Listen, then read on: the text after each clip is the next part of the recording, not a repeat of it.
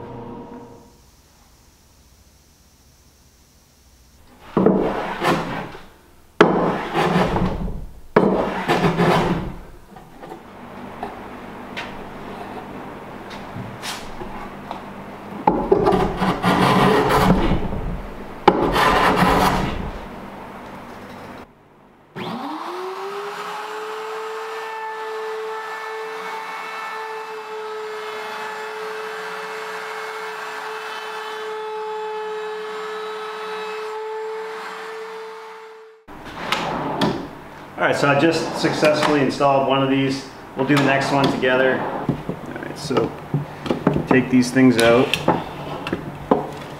Right here, there's this little lever, lets you get them out.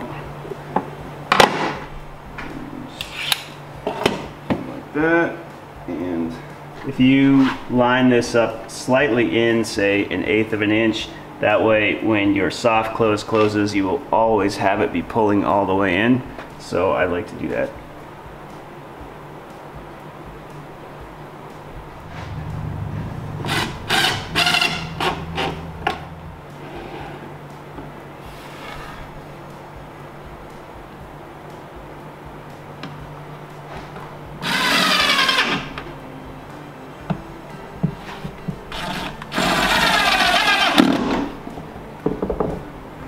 And that is how it looks.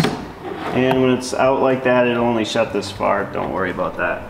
Alright, so I'm using that ruler just to space it up a little bit. And yep, got a block of wood here. I'm just putting that there, pressing that up against it.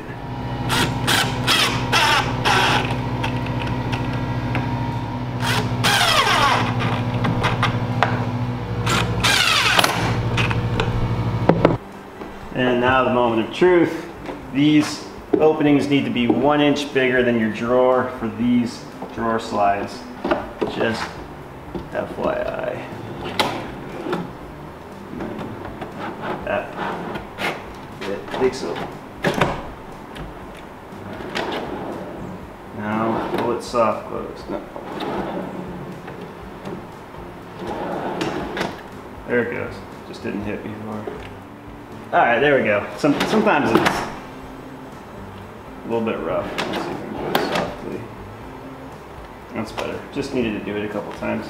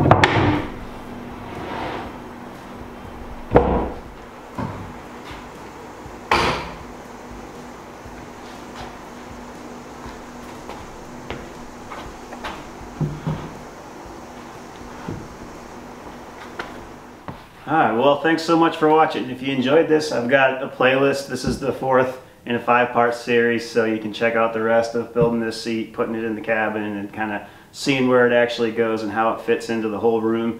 Um, so thanks for watching, and if you like it, check out those other videos.